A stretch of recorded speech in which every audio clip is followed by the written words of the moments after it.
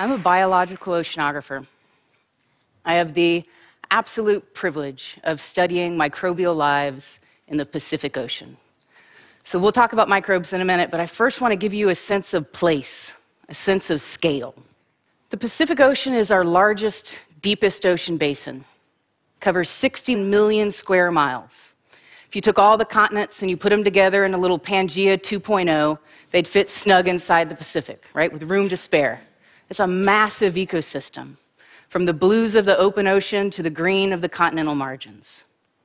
In this place, I get to study the base of the food web, plankton.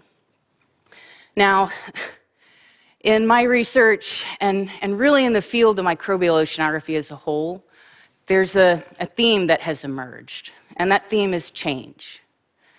These microbial ecosystems are changing in real and measurable ways, and it is not that hard to see it.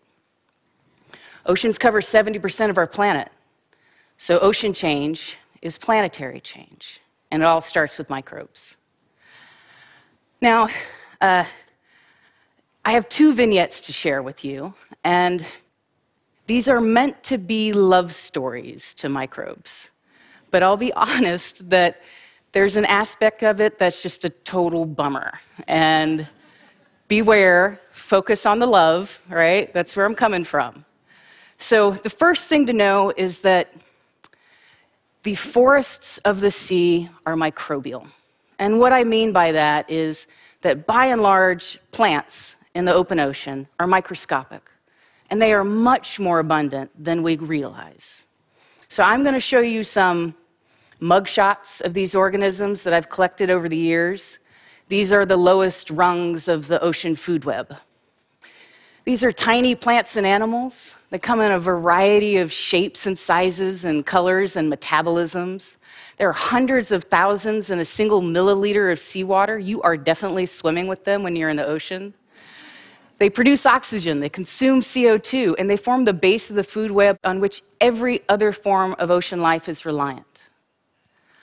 Now, I've spent about 500 days of my scientific life at sea, and a lot more in front of a computer or in the lab, so I feel compelled to tell you some of their stories.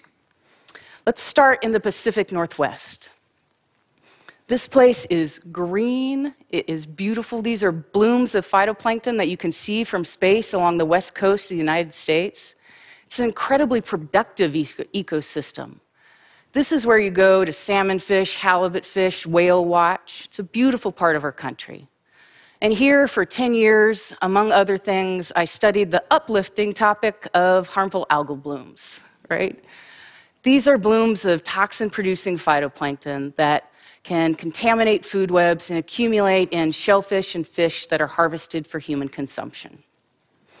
We were trying to understand why they bloom, where they bloom, when they bloom, so we could manage these harvests and protect human health. Now, the problem is the ocean's a moving target, and uh, much like some people in our lives, toxicity varies among the plankton. All right, so to get around these challenges, we combine satellite remote sensing with drones and gliders, regular sampling of the surf zone, and a lot of time at sea in small boats off the Oregon coast. And I don't know if many of you have had the opportunity to do that, but it is not easy. Uh, here's some poor students. All right, I've hidden their faces to protect their identities. right, this is a challenging place. So, this is hard won data I'm about to talk about, okay? So, by combining all of our data with our collaborators, we had 20 year time series of toxins and phytoplankton cell counts. And that allowed us to understand the patterns of these blooms and to build models to predict them. And what we found was that the risk of harmful algal blooms was tightly linked to aspects of climate. And when I say climate, I don't mean weather day to day, I mean long term changes.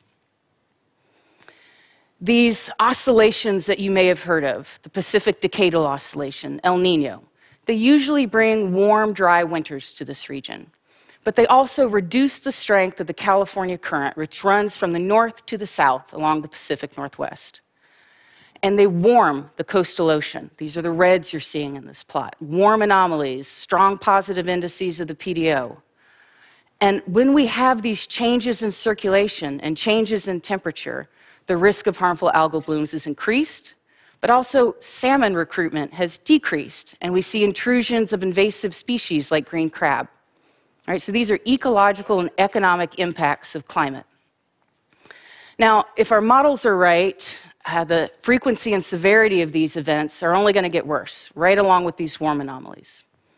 And to illustrate that, 2014 was probably one of the worst harmful algal blooms in Oregon history. It was also the hottest year in the modern climate record at that time. That is until 2015, 2016, 2017, 2018, in fact, the five hottest years in the modern climate record have been the last five. That bodes really well for harmful algal blooms and poorly for ecosystem health. Now, you may not care about shellfish, but these changes impact economically important fisheries like crab and salmon, and they can impact the health of marine mammals like whales, right? And that, that might matter a little bit more, that might resonate. So, there's your doomsday tale for the margins of the Pacific.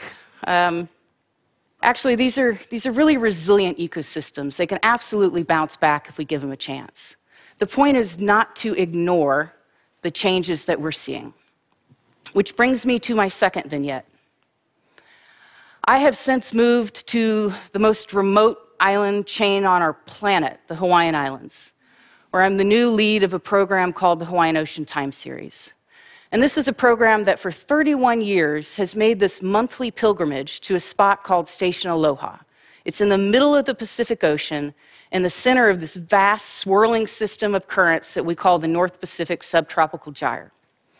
It's our largest ocean ecosystem. It's four times the size of the Amazon rainforest. It is warm in a good way It is blue water. It's absolutely the type of place you want to dive in and swim. You cannot do that off of research boats because, you know, sharks, Google it. Um, um, this is a beautiful place. And here, since October of 1988, generations of researchers have made these monthly pilgrimages. We study the biology, the chemistry, the physics of the open ocean. We've measured the temperature from the surface to the seafloor. We've tracked the currents, traced the waves. We have, people have discovered new organisms here. People have created vast genomic libraries that have revolutionized what we think about the diversity of marine microorganisms.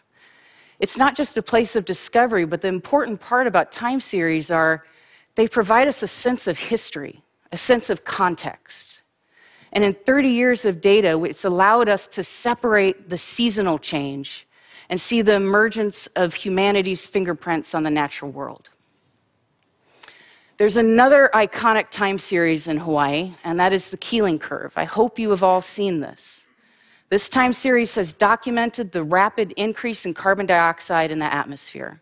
It's not just the number, it's the rate of increase. The rate of carbon dioxide increase in our atmosphere is unprecedented for our planet. And that has consequences for our oceans. In fact, oceans absorb about 90% of the heat that's generated by greenhouse gas emissions and about 40% of the carbon dioxide. And we have been able to measure that at Station Aloha. Each one of these dots is a cruise. It represents people's lives over 30 years trying to make these measurements, and it took 30 years to be able to see this. CO2 rises in the atmosphere, CO2 rises in the ocean. That's the red line. A consequence of that is a fundamental change in the chemistry of seawater, a decline in pH. pH is on a log scale. Here's your blue line. So we've seen a 30% decline in pH in the surface ocean in this time series. Now, that has impacts for organisms that need to feed, build shells, that changes growth rates, metabolic interactions, and it doesn't just impact plankton, it impacts ecosystems as large as coral reefs. Now, one of the things we've been able to show in this time series is this is just skimming the surface. Increases in CO2 and a decline in pH are measured over the top 500 meters of the water column. I really find that to be profound. This is genuinely one of the most remote places on our planet, and we've impacted the top 500 meters of the water column. Now, these two things harmful algal blooms, ocean acidification that's not all, of course, you've heard of the rest sea level rise, eutrophication, melting of the polar ice caps, expansion of oxygen minimum zones, pollution, loss of biodiversity, overfishing. It's hard for me to get a grad student. You can see this pitch is, is a difficult one, right? Again, I think these systems, these microbial ecosystems, are immensely resilient. We just cannot go too far down this path. I personally believe that sustained observation of our oceans and our planet is the moral imperative for our generation of scientists. We are bearing witness to the changes that are being inflicted upon our natural communities. And by doing so, it provides us the opportunity to adapt and enact global change if we're willing. So the solutions to these problems are multi tiered involves a portfolio of solutions, local change, but all the way up to voting for people who will protect our environment on the global scale.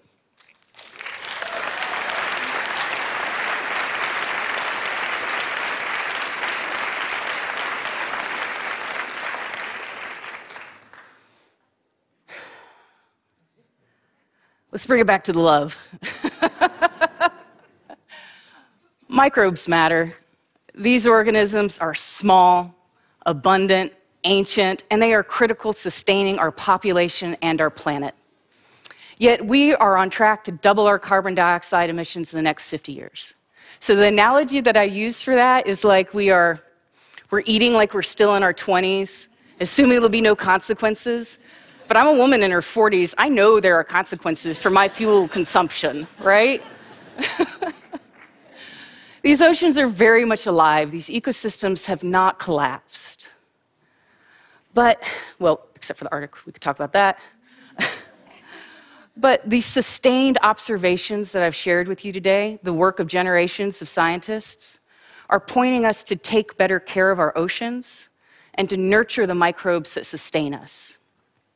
And on that note, I want to end with a quote from one of my heroes, uh, Jane Lubchenco and this slide is appropriate. Jane has said that the oceans are not too big to fail, nor are they too big to fix. But the oceans are too big to ignore. Thank you.